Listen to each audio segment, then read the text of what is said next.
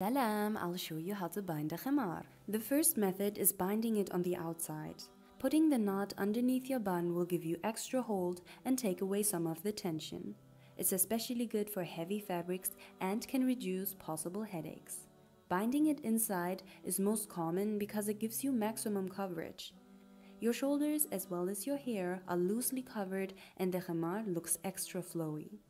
Now some khimar sadly leave this gap at the neck like this. It's easily solvable with niqab strings. Simply bind them on top of your bun in order to keep the lower part up. This gap is not a manufacturing fault. Usually it happens to girls with a small head or in my case because I'm folding the headband part of my khimar. The pop-up niqab is set up the exact same way.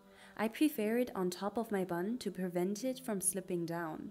Sometimes we have to put our bun lower to make the niqab part look neat. The khimar is from Les Sultana. If you are interested in her collection, make sure to check out my haul and get 15% off the entire Les Sultana collection.